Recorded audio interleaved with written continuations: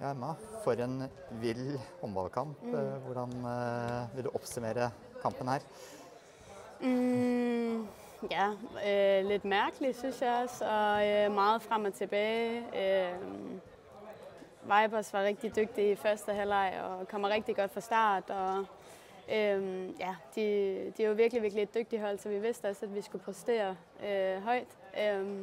Men vi kommer godt tilbage, og så er jeg glad for, at vi ender med at vinde til sidst. Ja. Og vinner med ett, eh, vant med fire hjemme, så har slått regjerende Champions League-mester to ganger eh, på rad. Hvordan, eh, hvordan har sesongen i Champions League vært for dere?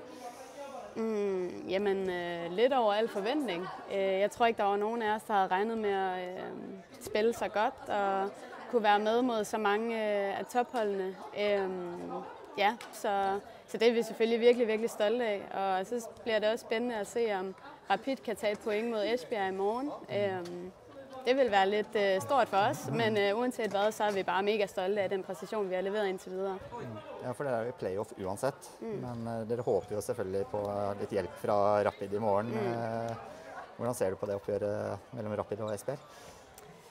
Jeg synes jo på papiret, der øh, skal Esbjerg vinde, øh, og ja, de er jo et sindssygt dygtigt hold, og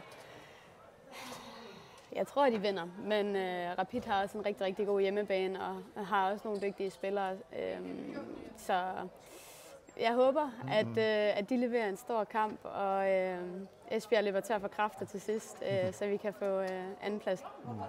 Men eh, i fjor vant dere Europaligaen.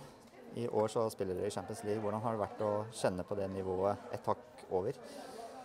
Eh, det har vært virkelig sjovt. Eh, det har vært øh, ja, et nivå over øh, European League, og jeg tror, vi har følt en selvtillid fra start av, fordi vi har vært med og kunne vinne rigtig mange kampe, så øh, ja, det har vært en fed opplevelse for oss inntil videre, og vi håper bare, at vi kan spille med så langt som mulig.